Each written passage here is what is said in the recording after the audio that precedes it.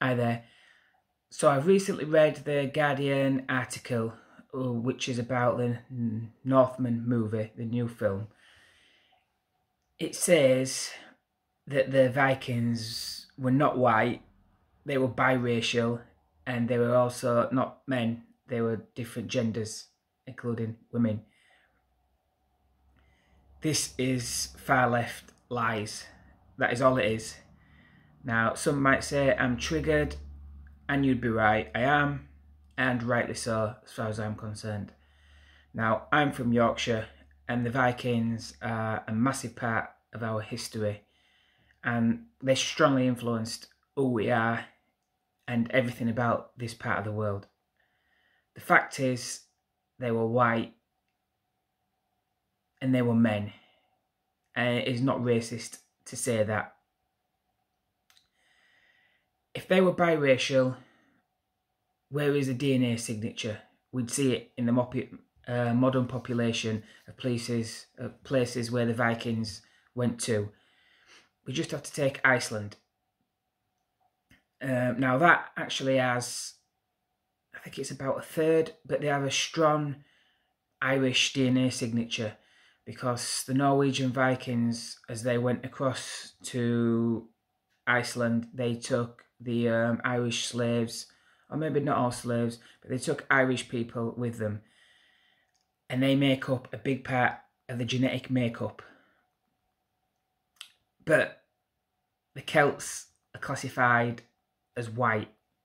So when the author of a Guardian article is referring to the Vikings, as biracial, I don't think he's referring to the Celts. I think he means maybe Africans, North Africans, Middle Eastern, wherever. Now, yes, the Vikings travelled far and wide in search of trade and plunder.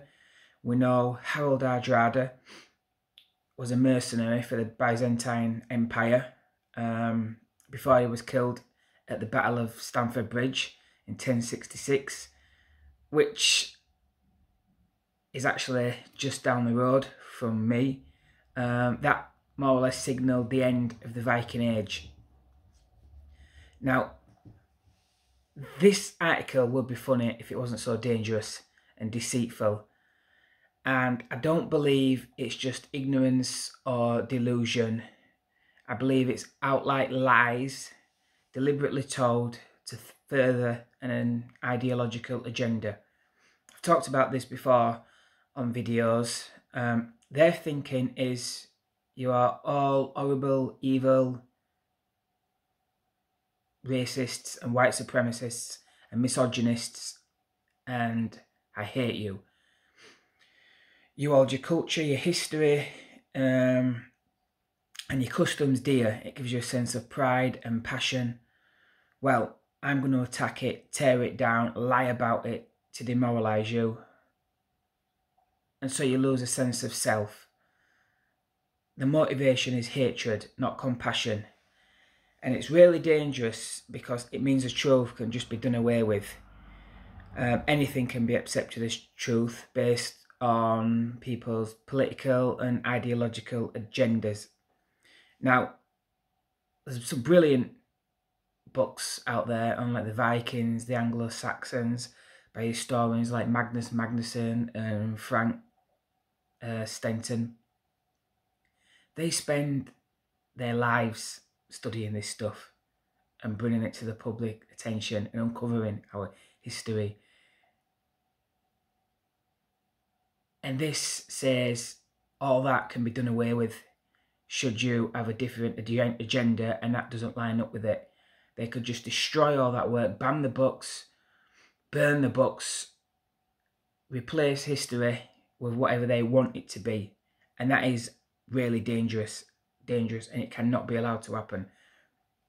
It's not racist to say the Vikings were white and were men any more than it's racist to say the samurai were Japanese men or the Zulu were black men.